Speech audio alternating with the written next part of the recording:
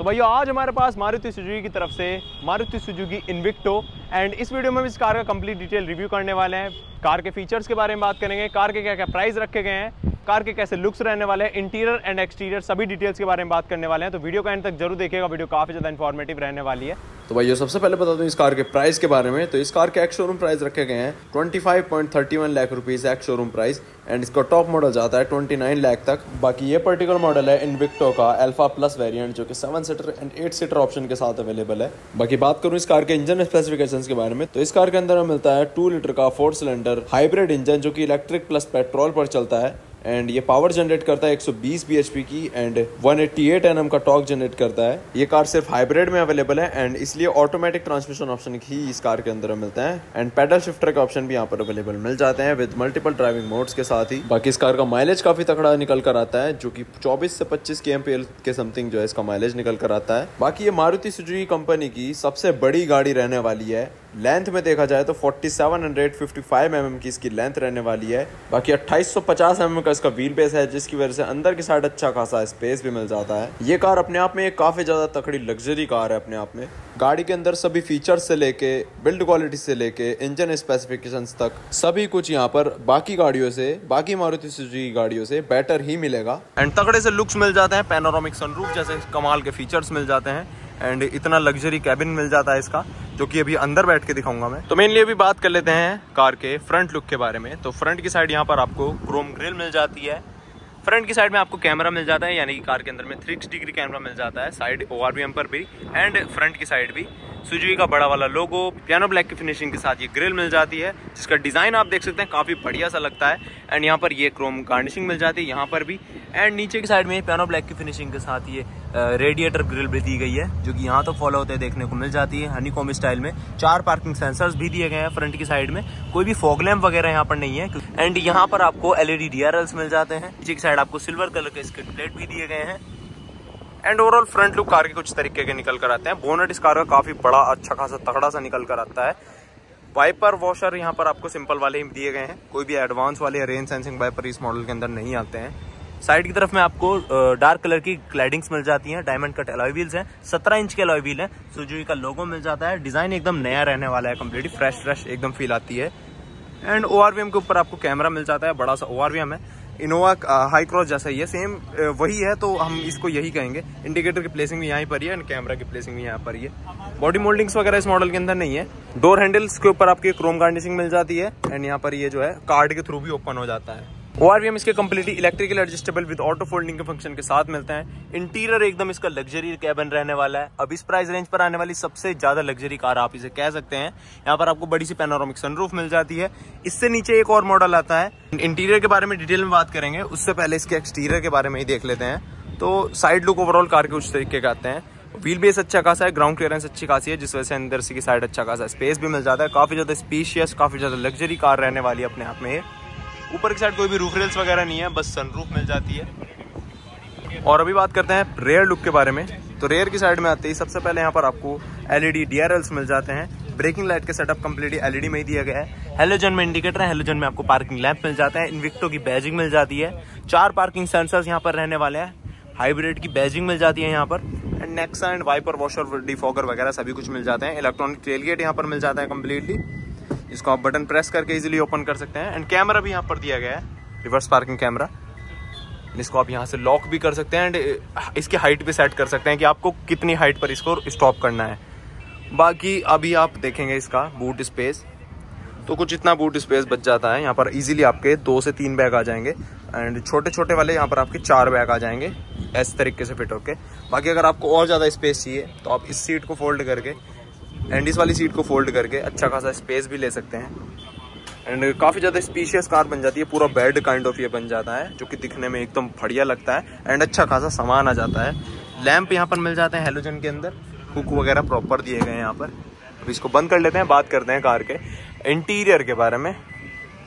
तो ये पूरा जो है इस तरीके से बंद हो जाता है। इलेक्ट्रॉनिक टेल के बटन के थ्रू ये पूरा बंद हो जाता है, जिसकी वजह से कोई भी दिक्कत नहीं आती है। भाइयों भी मेनली बात कर लेते हैं गाड़ी के इंटीरियर के बारे में। चाबी कुछ इस तरीके की आती है इसकी। सुजुई का लोगो यहाँ पर lock unlock and boot access का बटन मिल जाता है। अब इसको ओपन करता हूँ मैं। तो कुछ इस तरीके का है इसका इंटीरियर सॉफ्ट टच मटीरियल हर जगह यहाँ पर है।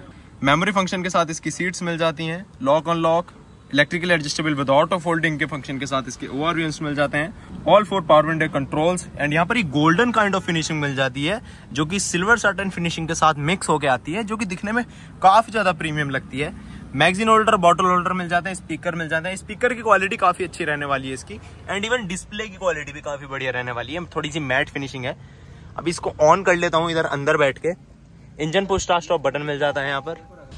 अभी बात कर लेता हूँ मेनली इस कार के इंस्ट्रूमेंट क्लस्टर के बारे में। तो कम्प्लीटली कुछ तरीके का इसका इंस्ट्रूमेंट क्लस्टर मिल जाता है। टेकोमीटर कुछ तरीके का है, क्योंकि ये हाइब्रिड कार है कम्प्लीटली इस कार में इस तरीके का आता है। एंड बीच की साइड आपको डिजिटल में एमआईडी मिल जाती है कम्प्लीटली यहाँ पर आपको 200 की मैक्सिमम स्पीड के साथ स्पीडोमीटर शो हो रहा है। एनालॉग में ही आपको फ्यूल गेज मिल जाता है। एंड यहाँ पर जो बैटरी से चलता है, वो यहाँ पर शो हो जाती है उसके साथ सब इंडिकेशन एंड बीच की साइड में आपको सभी टाइप की इंडिकेशन वगैरह वार्निंग्स वगैरह यहाँ पर शो हो जाती हैं। यहाँ पर क्रूज कंट्रोल के बटन मिल जाते हैं एंड यहाँ से आप इसको कंट्रोल भी कर सकते हैं। एंड यहाँ से इसके स्टेयरिंग व्हील मोटी सभी कंट्रोल मिल जाते हैं, जिसको आप इन्फोटेनमेंट सिस्टम को कंट्रोल कर सकते हैं। यहाँ पर आपको ऑटोमेटिक क्लाइमेट कंट्रोल मिल जाता है विद डुअल जोन के साथ ये रहने वाला है कम्प्लीटली वेंटिलेटेड सीट के फ़ंक्शन मिल जाता है यहाँ पर। एंड इसके इंफोटेनमेंट सिस्टम में एक फीचर आपको मिल जाता है। यहाँ पर आपको सभी टाइप की कनेक्टिविटी फीचर्स मिल जाते हैं। ब्लूटूथ के थ्रू आप इसे कनेक्ट कर सकते हैं। एंडोरोट एप्पल कार पे आपको वायरलेस कनेक्टिविटी के साथ मिल जाता है। एंड इसका आई आर वी एम काफ़ी बढ़िया रहने वाला है, जो कि ऑटो डिमिनिशिंग मोड के साथ रहने वाला है बेजल लेस कम्प्लीटली रहने वाला है एंड इसकी क्वालिटी भी एकदम बढ़िया रहने वाली है। लैंप मिल जाता है यहाँ पर आपको, जो कि हेलोजन के अंदर मिल जाता है, जिनकी थ्रो भी काफ़ी सही है नाइट के तरह इन पर काफ़ी ज़्यादा यूजफुल होते हैं। यहाँ पर आपको मिरर मिल जाता है फ्रंट शेड पर विद लैंप एंड यहाँ पर आपको मिरर मिल जाता है विद लैंप एंड बाकी कंफर्ट की बात करूँ तो यहाँ पर आपको अच्छा खासा हेडरूम मिल जाता है, मेरी हाइट के हिसाब से, मेरी हाइट है फाइव टेन के समथिंग फाइव नाइन के समथिंग आप अंदाज़ा लगा ही सकते हैं कि आपकी अगर हाइट थोड़ी ज़्यादा है इवन छः फुट तक भी आप इसके अंदर बैठ सकते हैं इजीली इवन हाइट एडजस्टमेंट के साथ ये सीट्स मिल जाती हैं तो हाइट से रिलेटेड तो कोई भी दिक्कत नहीं आने वाली है। बाकी अगर आप 200 किलोमीटर तक की भी रेंज अगर कवर कर रहे हैं तो कंफर्टेबली आप उसे कवर अप कर सकते हैं एंड कोई भी दिक्कत नहीं आने वाली है लॉन्ग राइड पर भी। बाकी अंडर थाई सपोर्ट अच्छा खासा मिल जाता है। नी रूम वगैरह आप अपने हिसाब से एडजस्ट कर सकते हैं। आर्म रेस्ट मिल जाती है यहाँ पर आपको। अंदर की साइड आपको अच्छा खासा स्पेस भी मिल जाता है deep space twin cup holders मिल जाते हैं। ऑटोमेटिक में ही अवेलेबल है। व्यू करते ही आपको थ्री डिग्री कैमरा का व्यू मिल जाता है। एंड ये कम्प्लीटली आपको इसकी क्वालिटी थोड़ी मेज़रमेंट लग सकती है। एंड पूरी गाड़ी का थ्री डिग्री व्यू आपको यहाँ पर मिल जाता है।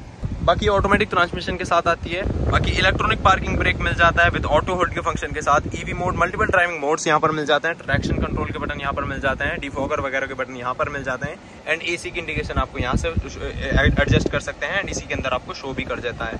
यहाँ पर आपके वेंटिलेटर सीट के बटन मिल जाते हैं। यहाँ से आप इसको ऑन भी कर सकते हैं सीट के अंदर वाले फ़ैन को। बाकी यहाँ पर एक छोटा सा स्पेस मिल जाता है। ट्वेल्व वोल्ट का पावर सॉकेट है।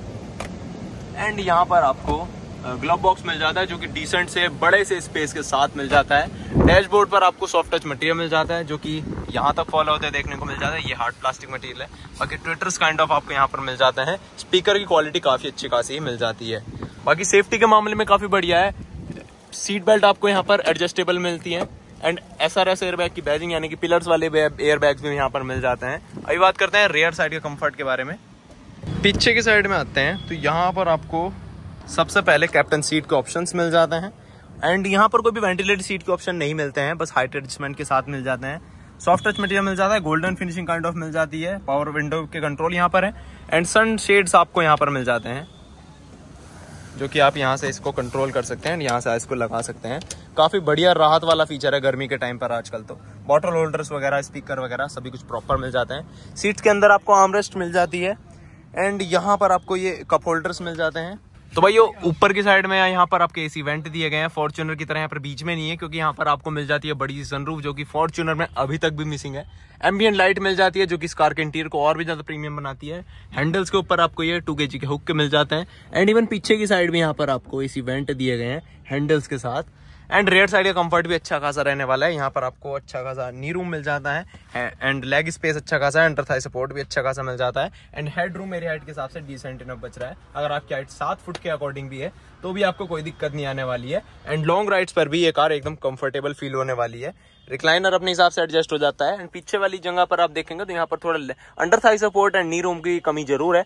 बट वो भी काफ़ी कंफर्टेबल है। अगर वहाँ पर बच्चे बैठेंगे तो कोई बड़ा बैठेगा तो दिक्कत ज़रूर हो सकती है। बाकी एसी को आप यहाँ से कंट्रोल कर सकते हैं। जैसे कि मैंने आपको बताया डुअल जोन में ऑटोमेटिक क्लाइमेट कंट्रोल मिल जाता है। यहाँ पर आपको जो इंडिकेशन शो हो जाती है।